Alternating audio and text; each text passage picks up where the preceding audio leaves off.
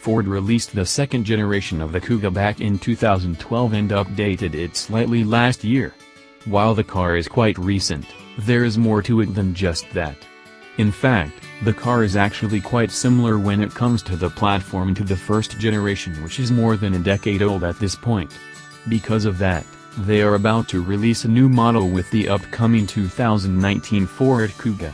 So far there are very few details about it, but it looks like the new model will be something quite special. For starters, it will use a new platform, and it will come with new engines. On top of that, the upcoming Kuga should become far more engaging to drive. While the first model was great in this regard, the new one is dull and not as inspiring which is a real shame.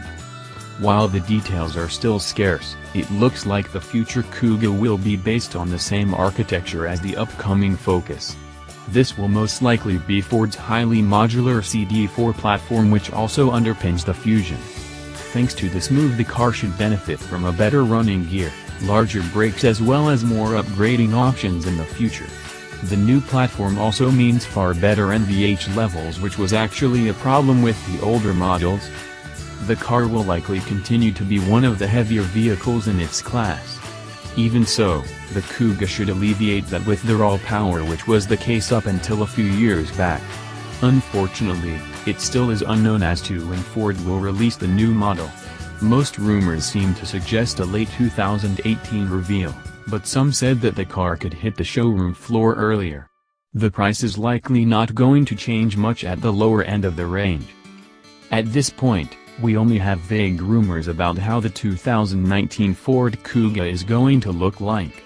Even so, there are a few industry experts suggesting the design of the car will take an evolutionary path.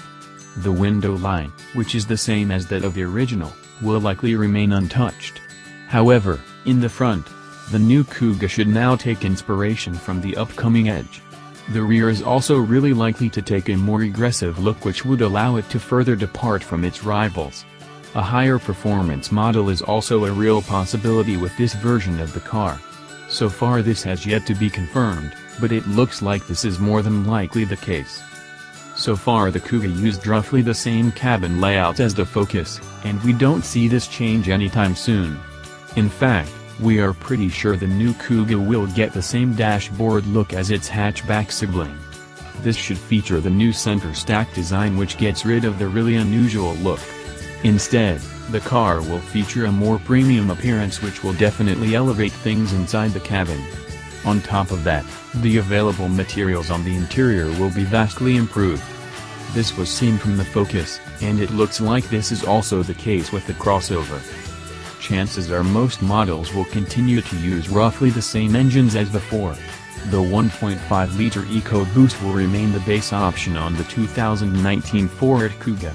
However, it should now make closer to 160 horsepower while the higher-end version should offer close to 200 horsepower.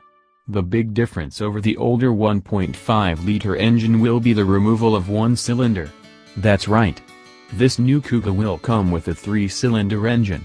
The 2.0-liter EcoBoost should now offer 245 horsepower which will be enough for most people.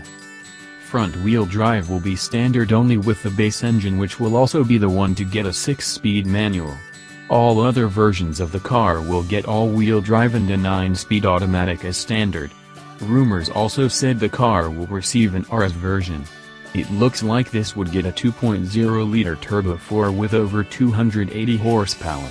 Unlike the rest, it would also receive a rear-wheel biased all-wheel drive system, so it should be considerably more fun than ever before.